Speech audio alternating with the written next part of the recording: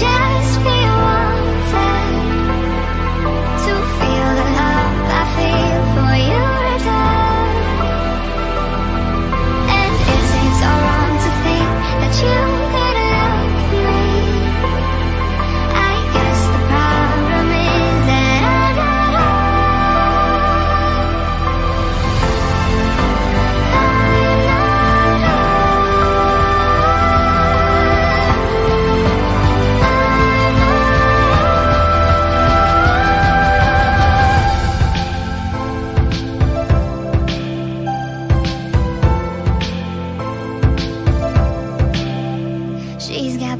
eyes, long legs, pretty rosy cheeks, and I've got fair skin, brown hair.